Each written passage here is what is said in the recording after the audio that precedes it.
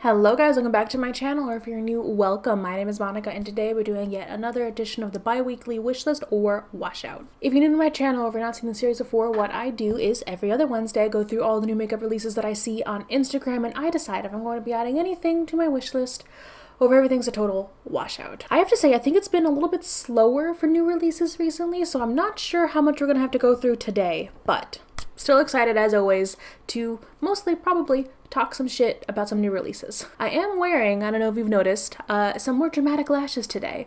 I was actually sent some lashes from Cavalli Lash in PR and I'm testing them out and I specifically really wanted to try out their colored lashes. This is actually their sunset pair of lashes and it's it's like a pink lemonade dream. So I had a lot of fun doing this. I am filming a full video, but it doesn't take me a couple of weeks, you know, to finish it. I started filming it a little while ago um, with like my first impressions of all the lashes, and then I'm to come through once I've fully tested all of them and done several full day wear tests with my final thoughts. So the video's to take a little bit longer, but I'm excited to try these out because they're definitely unique, at least to me. I don't think I've ever actually worn colored lashes before, so this is new. Let me know what you guys think of it down below. All right, so before we jump into the new makeup that I saw on Instagram, I kind of wanted to bring this up real quick. I get um, the Ulta catalog in the mail still. Uh, they give you coupons and everything, and I do like to just like flip through and see what's on sale, what's new, because sometimes there are just new things that fly in under the radar, and like you see them in here. And what I really wanted to talk about, because I honestly haven't had this brand on my brain since the last time all the shit went down and I did a live stream talking about it. This is DevaCurl. So apparently DevaCurl is completely reformulating, rebranding, look at the new packaging, and coming out again. Now, I have to say, they must be struggling. So many people had issues with their hair after using DevaCurl products, myself included, and it, it, took me way too long to figure out it was actually the DevaCurl products that were like ruining my scalp. If you want to know the details of like everything that happened and DevaCurl's response and a bunch of bigger YouTubers and people and influencers that were coming out saying that their hair was basically ruined by DevaCurl products, I'll have that linked up above. I think it was like right before COVID hit. I think it was in like that January, December timeframe uh, of late 2019, early 2020 when all of this went down. Um, but ever since then, a lot of people have been boycotting DevaCurl, not using their products, not letting it touch their hair. Um, so I know they must be hurting in order to do this, pull out a full page showing off their new reformulation. So interesting to see that they're actually trying this. Um, I have to say, for how much they cost and what they did to my hair and my scalp, I will never ever touch a DevaCurl product again. So, first and foremost, I have to talk about this. Teresa is Dead collabed with Lethal Cosmetics to come out with Lethal is Dead.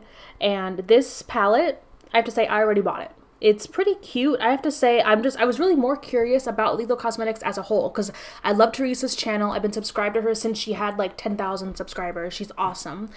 And uh, I remember she just always talked amazing about Lethal Shadows. Um, only thing is, I guess I, I couldn't find out exactly, but I think they're based overseas because the shipping after the shipping for this palette was ridiculous. Unfortunately, uh, it cost like almost half the price of the palette itself was just was just for shipping on top of it. So we'll see. I'm gonna do a full review of this palette once I get it, and I will include shipping times, the cost, and everything.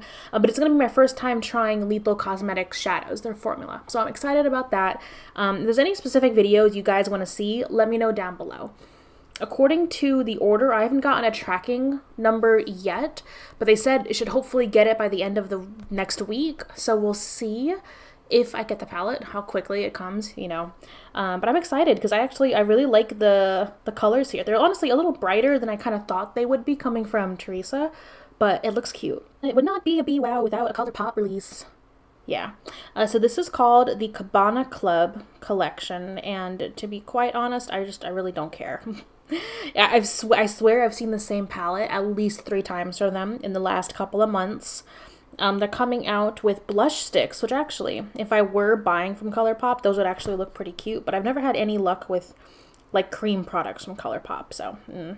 and their liners, honestly, I have not used any other liner really other than like those NYX Epic ink liners since I've tried them. They're amazing. Like I'm wearing it in my waterline right now. I love them. I have them in like eight different colors now and I want more. So yeah, I'm gonna go ahead and say it's a pass for me on this new Cabana whatever. I think it's an Ulta exclusive. So KKW Beauty is coming out with lip lacquer pots.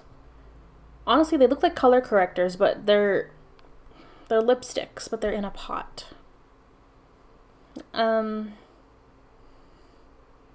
No, thank you. No. They're $18. So we're getting some sneak peeks at the Kylie Cosmetics rebranding. So it looks like they're sticking with the name Kylie Cosmetics. I wasn't sure if they were going to actually change the name of the brand. I wasn't sure. I'm really not sure about what's happening like on the back end. Uh, I think there's like a copyright issue, which is why they had to like sell off their remaining stock. I'm not 100% sure though. I haven't actually researched it. But I wasn't sure if they're going to change the name of the brand. Um, but looking at it, it looks like it's still going to be Kylie. They've released pictures of what the new lip kit products are going to look like.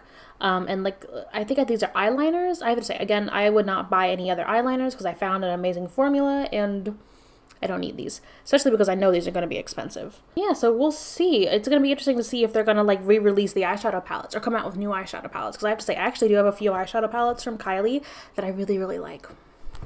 So kindness, vegan beauty with kindness and vegans and beautiful vegan kind people. I need to think of some more jokes. the beautiful vegan people that you would see doing kind things at farmers markets. Farmers market, beautiful vegan beauty friendly. so it looks like that they're making room on the display and along with the liquid gel blushes, which you know I have to say I really want to try. I've not tried one of those yet. I really want to pick one up. They're coming out with liquid gel contours, which I have to say, I don't think I've ever used a liquid contour. I don't know how that would work on my complexion or just with me and the way that my skin is. So yes, I don't, I don't know if I would pick up a contour. I definitely would do a blush. A blush, mm, not a highlight. Yeah, I really like liquid and cream blushes. Not so much the same for contours and highlights. So I don't know. I don't know. Ooh, so Fenty is coming out with a new shade of the Gloss Bomb, and it looks to be like a very, very hot pink. It's very cute, but I don't think I would wear hot pink gloss enough to like actually purchase this, but it, it does look very, very cute. Ah, another new palette collection. Not even just a new palette, it's like a whole collection from ColourPop. This is the Lush Life collection, which I have to say, you know, I don't understand the palette. Like that little quad in the middle with the greens and the blues, make that the whole palette. That would have been gorgeous. I would have considered it. That with the packaging and everything, mm. I mean, swatched out, they look decent, but still, it's just like, right? It also has some cheek dews, serum blushes, and some, uh, let's see, Luxe glosses, cheek dew serums, and cream gel liners. Meh. Meh. Meh. ah, so in addition to that other new gloss bomb, it looks like Fenty is coming out with a limp, limp, a lip plumping gloss. I don't know why it's so hard for me to say, but this is called the Gloss Bomb Heat. And it's in hot cherry. It's a mix of pepper and ginger root that instantly stimulates and plumps for juicy lips. I've never been like a huge fan of lip plumping glosses. I feel like I've never really needed it. I feel like my lips are a decent size for my face, so I've never wanted to make them bigger or smaller. Um, but it's interesting, interesting to see from them. What do you think? Have do you guys use lip plumping glosses, and what do you like about them?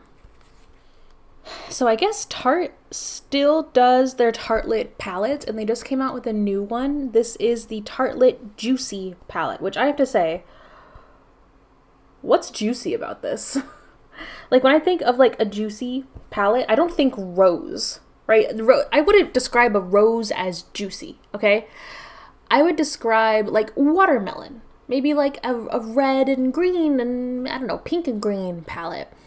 But like, I don't get this. Like, I wanna, I want to be a fly on the wall of like their marketing meetings or their development meetings. I need to know how the hell they come up with these.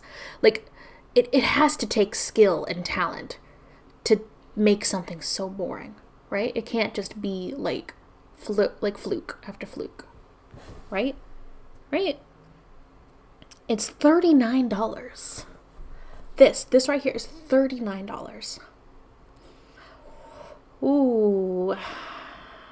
Okay. No. Okay. So I have to say, I don't get anything. Honestly, by itself, it's like a decent rose palette. I've got these shades 10 times over in my collection, but looking at it by itself, if this had been marketed as like a, a rose bridal palette, it'd be like, oh yeah, that makes sense, you know? But juicy? I'm just, I'm just confused. oh, I guess Chanel is celebrating 100 years of Chanel number 5. So they're releasing a body oil, bath tablets, body cream, body lotion, and shower gel in the Chanel number no. 5 scent. Um, I have to say, packaging freaking on point. I actually really thought that packaging is adorable. But I have to say, um, I have the dossier dupe for Chanel number no. 5, and I'm good. Like, that thing's $30. It's a full bottle. It, it last it lasts me a good long time. It smells just like Chanel number no. 5. I've gotten like one mini bottle of it in my life. Um, the dossier one is a lot cheaper and just as good. so, that being said, I'm not going to buy any of these because they don't even have prices here. So, I know, I know, no, no, that this is going to be expensive. Like, I don't need this. I don't. Mm-mm. Okay, so I have to say, this is like really, really random. But Madison Beer, Vanessa Hudgens, and Dr. Karen K are coming out with a skincare brand honestly, skincare, the skincare community has been very odd. Actually, I don't think I ranted about Hyram's skincare brand. I might just pull that up and do that one next. But this is just so freaking random to be quite honest. I think I've made my uh, stance on celebrity skincare brands known. Honestly, celebrities have no, I don't care how many doctors you consult and whatnot, it's clearly a money grab when it's a celebrity that comes out with either a makeup brand or a skincare brand, but more so for skincare or birdseed, aka supplements, because like there's so much more formulation and like there's I guess I'm trying to make the, the, the separation between like makeup that you might just wear on one part of your skin, or not even on your skin. It could be like on top of foundation only for the most part, as opposed to something that you specifically put on your skin, like to sink into your skin and work with your skin, or even more so if you're ingesting like a supplement. Like there's a big difference there. Um, I'm not a huge fan of uh, celebrities thinking they're dermatologists and trying to push that idea forward just so they can make more money off of a brand. Like they don't need that money first of all. Second of all, I know they're cutting corners because if if you're a brand that is just that hyper money grubby, it's not going to be like amazing quality, right? Like mm, so I wouldn't trust most celebrity skincare brands on my skin just as a rule because I know they're just doing it for the money. But this is just the most random group of like people. And it kind of came out of nowhere. Anyway, um, they already have like a moisturizer, and these moisturizers are all $26. They have three moisturizers. They have cleansers that are $24. They have serums that are $30. Yeah, this, I don't know. This one just kind of confuses me because I'm just, it's just odd to me. Like, why, why are they suddenly, why, why this? You know? It's just because it's, it's what's currently trending right now, right? Okay, so Next, since I mentioned it, I want to talk about Hyram skincare brand. I have to say, I am not a fan of kind of the the fact that like random and I'm going to go ahead and be a slightly generic here, but whenever a white guy comes in to a space that's not automatically dominated by white men, they have that glass escalator effect, right? Where just by like being present and being decent at a thing, they can kind of shoot straight to the top with while there are a lot of other women specifically specifically women of color that are more talented and have uh, put more effort into like their work or their art and they don't get nearly as much recognition. That's a fact. So when i saw people like brad mondo like hyram like even to an extent the welsh twins come in and like immediately kind of shoot to the top of their respective little centers, whether it be skincare, makeup, or hair care, it always rubs me the wrong way. So I haven't I watched a few of Hyram's videos back when he like kind of first became popular on YouTube. Um, now I, I think he's blown up on TikTok, where I think most of his following comes from now. But because of that, I was never really like totally on board with like his channel and whatnot. I also felt like he was being a little super preachy about certain things, and he kept calling himself a skincare specialist, but from what I've seen, I think he only really works or worked at like a skincare counter. So, that being said, he came out with a brand, and I guess the brand is a parent, a child brand from the INKEY List. And I have to say, I'm not super, super up to date with all of the different skincare influence. I know there's been a lot of drama in skincare land. Uh, so I'm not totally up to date on like if there's anything fishy or up with the INKEY List, but the INKEY List is a brand. And I guess a brand that Hyram promoted a lot of. Um, so his brand is a child of that brand. And his brand is really being promoted as super clean, super great for the environment, and I have to say, if you haven't seen like his skin the launch video for his brand, go take a look because it's honestly kind of icky in the way that um he's trying to like like save the people kind of thing. Okay, how do I explain this? Basically, it's him talking about his skincare brand as if he's saving the world and I'm not even kidding. Like, go watch the video. It's like it's a voiceover talking about how clean, sustainable, and great these skincare products are, but you're over. He's overlaying it with video of like African people like getting water from wells, and it's it's this very icky, like kind of white savior complex ness. And I have to say, at the end of the day, it's a damn skincare brand. You're not to save the world with skincare, okay? So all of that was just like super, super icky. It gave me like white savior. It gave me weird missionary, like missionary trips. Not missionary trips, mission trips.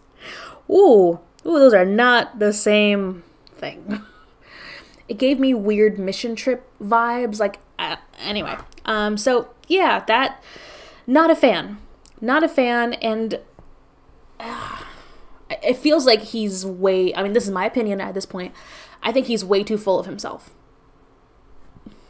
And also, I don't want to try any of the products. also, I just want to say before we move on, the prices for Selfless by Hyram, Hyram, also expensive. $24 for a serum, $30 for a serum, uh, cleanser for $20, moisturizer for $26. Like most of my skincare at this point is all drugstore and almost everything is like under $15. So I don't think you need to spend that much money for an influencer brand. Like I don't think it's necessary. Ooh, so Morphe is coming out with a tinted moisturizer. Does anyone remember how great Morphe's foundation release went? It was actually really funny seeing people that shill Morphe constantly try to make that foundation look good because it looked terrible. You could tell on camera it looked really bad, and they were doing their best to like be like, "Oh, it's applying, it's applying great," and "Oh, look at this, it's doing this great," and you could just tell like it's it's not, it's not. Um, while I love tinted moisturizers, I of course will not be trying this out. Um, yeah, that's about it. They only have 15 shades. Yeah and it's $18 each. So, you know, I won't touch anything from Morphe with the 10 foot pole, but nah. Okay, so this looks pretty. I know I have these shades in my collection, but this uh, this looks very, very pretty. This is from Em Cosmetics, and this is the new Divine Skies eyeshadow palette Venetian Rose. It just looks really pretty. I like the like the fact that it's in like a little circle, like a little pie with little slices cut out into it, and I liked the the shape of the compact. It just looks really cute honestly. Like, I know I have these shades, I know I don't need this, but it looks very cute. So I was actually tagged in this one. It looks like Uoma Beauty is coming out with a sister brand, and it's specifically an inclusive sister brand, an ingredient conscious, eco friendly, vegan, cruelty free brand that's centered around care, skincare, self care, soul care, and care for our planet. Okay, so it's skincare. Uh, okay, because I was going. Oh no, no, it's not just skincare. There's got a mascara. Okay, so it looks like it's a combination of like skincare and makeup, which mm, meh, meh. I'm also confused as to why they need to have a sister brand to do this, and they couldn't just put it out under their own regular Uoma brand. I don't know. I think it has something to do with um, whether how good I guess how good the collection goes. Um, but yeah yeah, I don't know. I don't know. Yeah, I'm, I'm not to try any of this. Oh my god, this is the most ridiculous thing I think I've ever seen. I guess Hourglass is going to come out with single eyeshadows and palettes you can create your own palettes out of. But look at how these shadows are. First of all, you're not even getting a full square of shadow. They cut it off. So how many grams of product are you getting there? Second off, look at how big that packaging is for the single shadow. That's huge for a single shadow. I, I don't even like using my ColourPop Super Shock shadows because that packaging is so annoying. Imagine that. I would say I would say the palette itself looks kind of cute, but I have to, I have to see it like the full thing because I don't like the way those pans are. That's the weirdest way to like have an individual pan of eyeshadow, isn't it? Ah, that's, that's odd. Oh no, I like it. Yikes. All right, so Laura Lee, Los Angeles, is coming out with a new palette called Candy Skies. And uh, I love how it looks. it's like this beautiful, like pastel kind of pseudo rainbow palette. The swatches look gorgeous. Oh my god, and I love the packaging. Ah, oh my god, no, I love this palette. okay, so for me, and the way that I like to organize or like to, uh, how do I put this? Um, I do not support with my dollar any of the big drama filled beauty gurus. So none of them that were in drama Dramageddon and none of them up there. Not shaming you if you do, but that's just a stance I took a while ago about not supporting toxic people. I actually did a video about it. I'll throw it up in the cards if you missed it. So I won't buy this, but I want a dupe. Like I, I need something similar to this. Like I've got a smaller like Kylie version, but no, these are like jewel tones. They're not super pastel. They look jewel. Oh my god, those I can't get over the swatches. Those swatches are beautiful. No. if anyone knows of anything that's kind of similar to this, let me know, please. And let's finish on this one. So e.l.f. is coming out with putty bronzers. So they had the putty primer, which did really well. They then came out with putty blushes, which that makes sense. Like an ice cream blush makes cute, makes cute, makes sense, and it's cute. Uh, I have not picked up any yet, but I do want to pick up some of those blushes. They look adorable. Now they're coming out with putty bronzers. Now I have to say, cream bronzers are, well, that's my reminder to send my shopping list to Alvin.